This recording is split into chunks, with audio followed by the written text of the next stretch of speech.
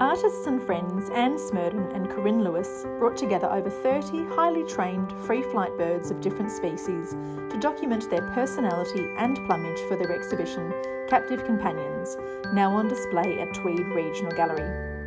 Let's get to know some of the quirky characters that Anne and Corinne have painted for this exhibition. Meet Ranger, a 57 year old galah who the artists describe as an absolute gentleman. During his photo shoot, he would make kissing noises and snuggle up against Anne's cheek. She told us that he would sit anywhere he was asked to and even raise his crest on command. But Ranger wasn't always so sweet. When his former owner passed away, he became so vicious that no one could handle him, well until he met his current owner, Jess. It's a good reminder that parrots are long-term pets, and different species can live between 30 and 90 years. The other subject of this painting is Fish, the Gang Gang cockatoo, who wanted absolutely nothing to do with his portrait being taken.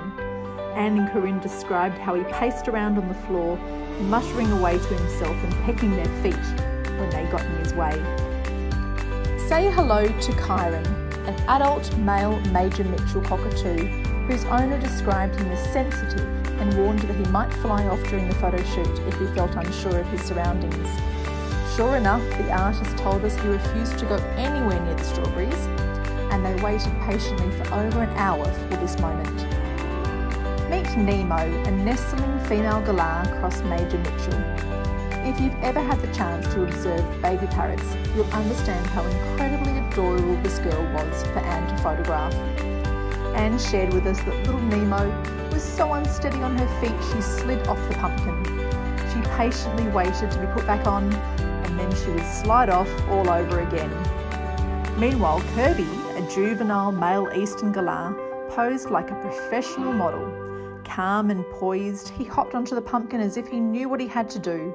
Within seconds, he had provided a portfolio of perfect shots looking left, looking right, crest up, crest down, standing tall, wings out. This adult male Hahn's macaw is called Figaro, and he is a rescue bird. His plucked chest is an indicator of the stress, boredom, or hormonal issues he faced in his previous home. It's likely that he had his wings clipped from a young age because at the time Anne painted this, he didn't know how to fly.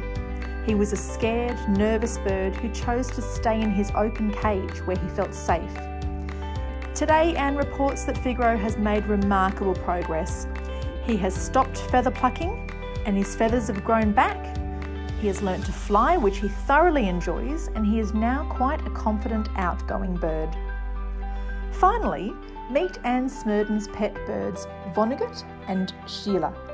10 year old Vonnegut is an adult male Indian ringneck named after author Kurt Vonnegut. In 2017, he won the title of Australia's Greatest Pet and was animated in the 2019 movie The Secret Life of Pets 2 and says that he has an infectious enthusiasm for life that has seen his social media following quickly grow to over 90,000 followers on Instagram and over 85,000 followers on Facebook.